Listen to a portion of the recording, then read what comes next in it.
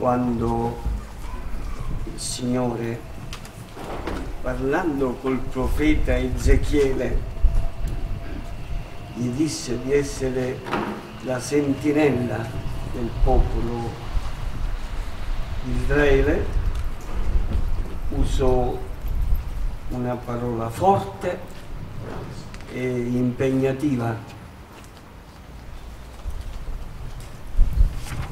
se c'è qualcosa che specialmente noi siciliani non amiamo fare è quello di fare le sentinelle degli altri.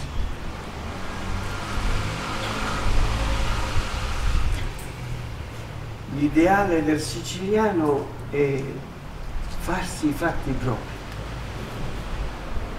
Io lo ripeto spesso, nelle parrocchie dove sono stato in questi anni e quando sono venuto a Villabate e andavo a benedire i morti, allora si usava chiamare il prete prima, a volte, quasi sempre, dopo che una persona volava al cielo. Quando arrivavo mi dicevano sempre Padre Giacomo, un uomo eccezionale. Padre Giacomo, una donna eccezionale. Si faceva sempre i fatti propri. L'ideale del siciliano. Questo però non è Vangelo. Questo è nella logica di Caino vi ricordate quando Caino uccise Abele? Il primo atto di violenza, diciamo il primo atto di gelosia, il primo atto di mafia. Quando Dio gli chiese, Caino, Caino, dov'è tuo fratello? Cosa rispose Caino? E che ne so io? Sono forse io il custode di mio fratello? E se tu non sei il custode di tuo fratello, perché facevi il paragone fra i sacrifici che faceva tuo fratello e il Signore gradiva e i sacrifici che facevi tu e il Signore non gradiva? Non avresti fatto meglio. Aspettiamo che prima finisce il concerto.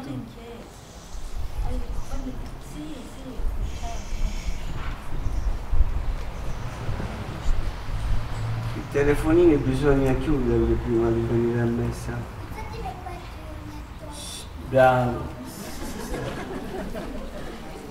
Natale fa presente che il suo telefonino lo mette silenzioso quando viene. Continuiamo il discorso che è troppo serio.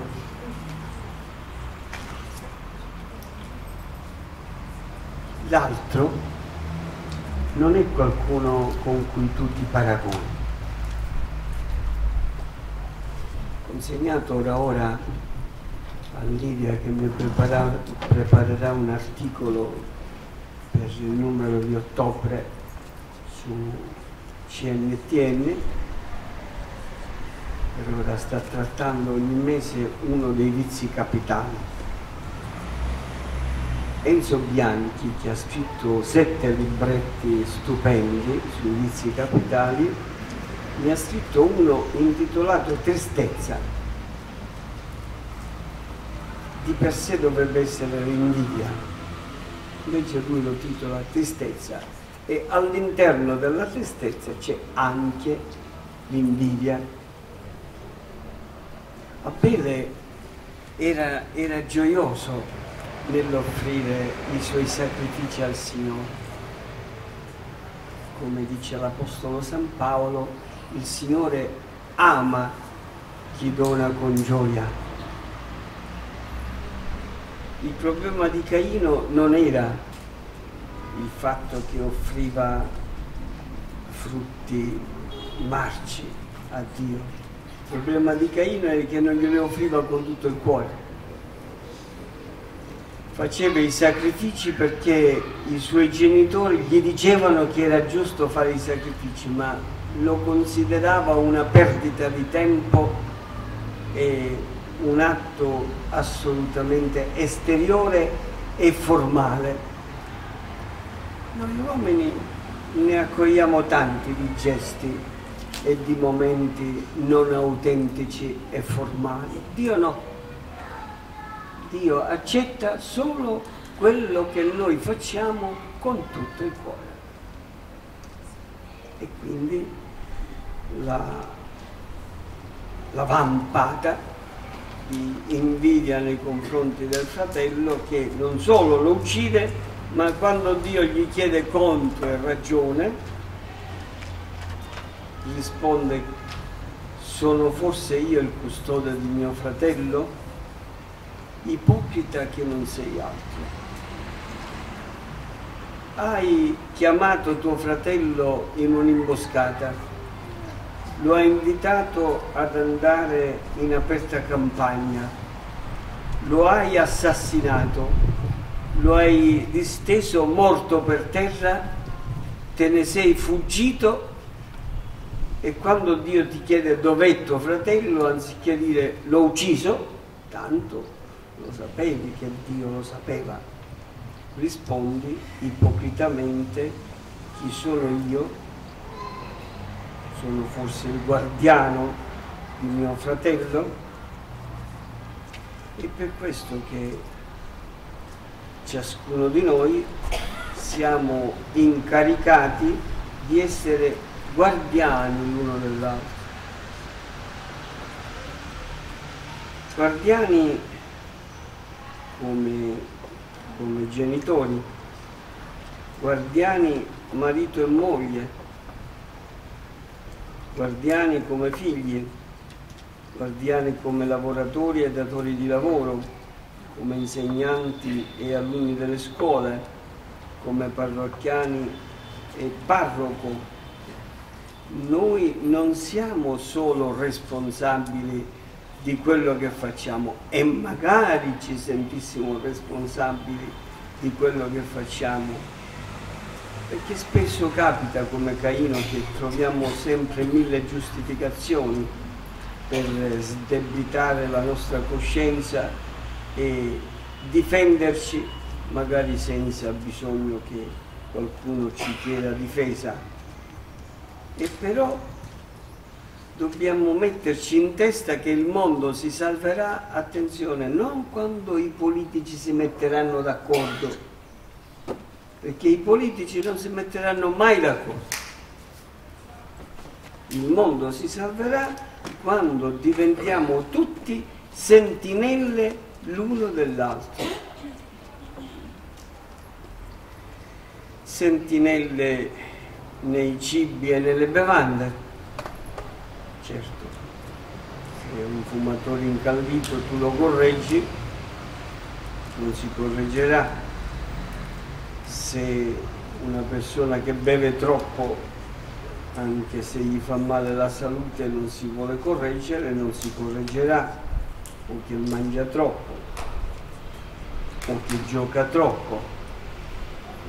Ma tu glielo devi dire, ma tu lo devi correggere ma tu ci devi stare addosso, ma tu ti devi sentire responsabile della sua vita, della sua salute, del, del suo tempo, della sua coscienza e delle sue azioni.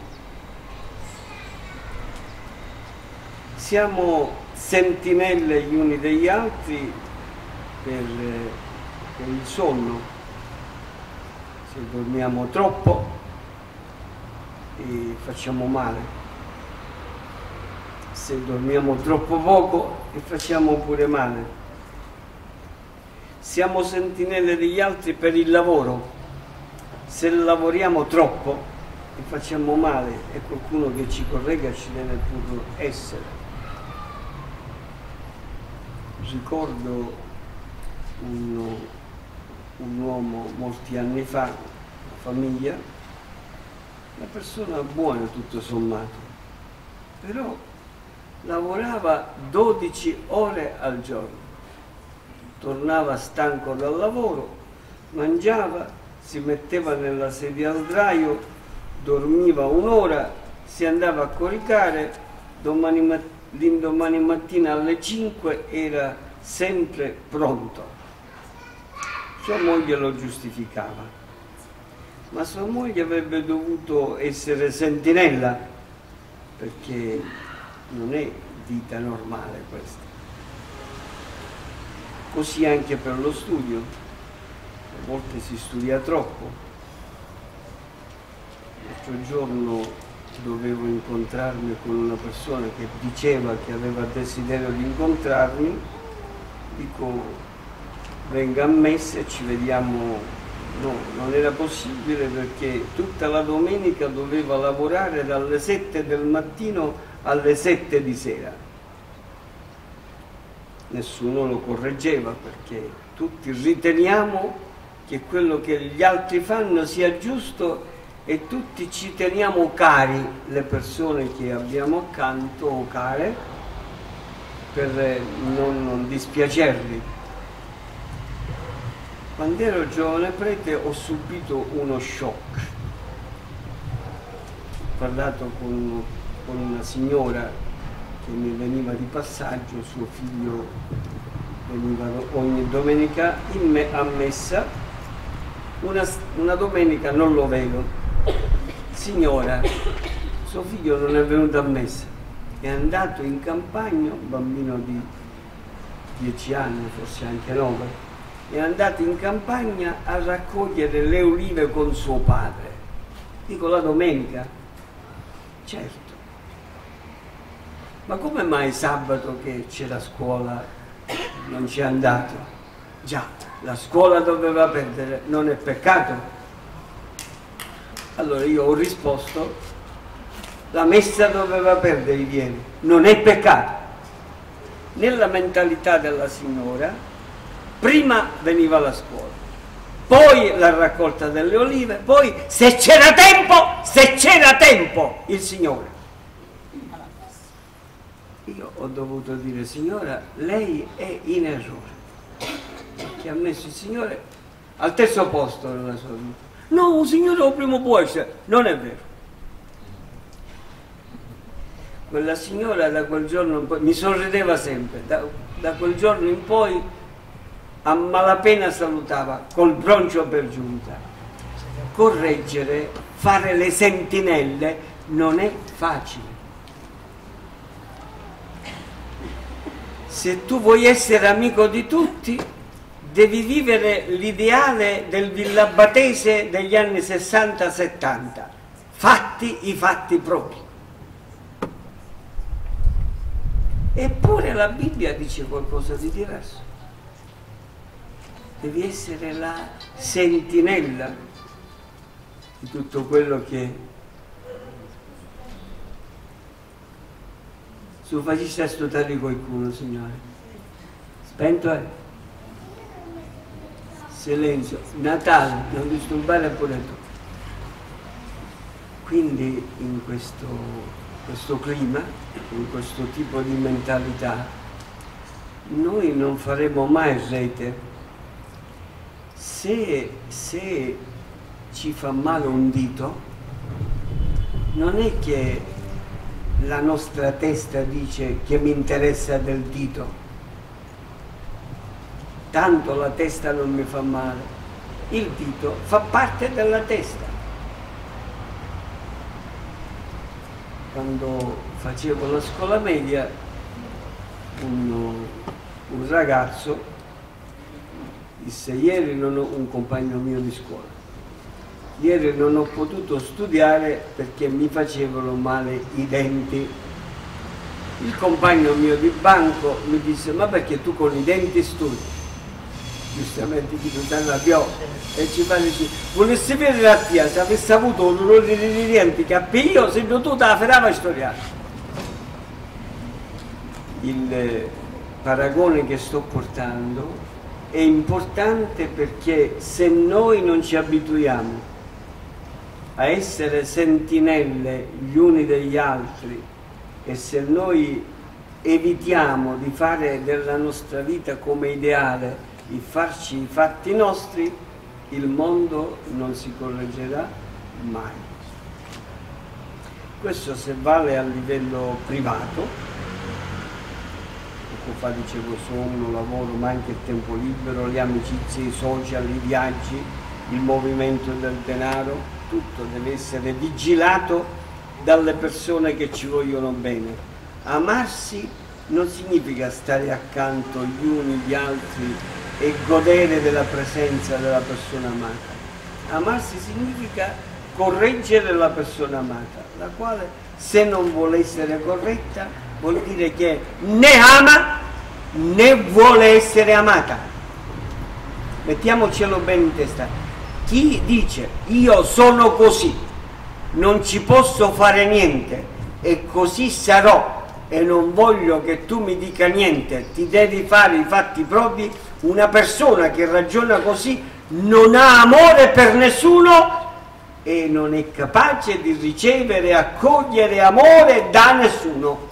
È un sasso. E i sassi, eh, sappiamo, non producono né fragole, né cipolle, né peperoni né fagiolini. I sassi producono soltanto capacità di essere lanciati per fare del male.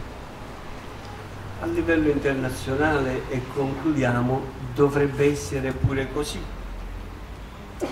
Quando, quando finì la prima guerra mondiale, il presidente Wilson, uno dei presidenti per la storia più grandi, per me più ipocriti che mai siano mai esistiti, inventò la società delle nazioni che doveva servire a sedare tutti i conflitti che potevano sorgere a livello internazionale.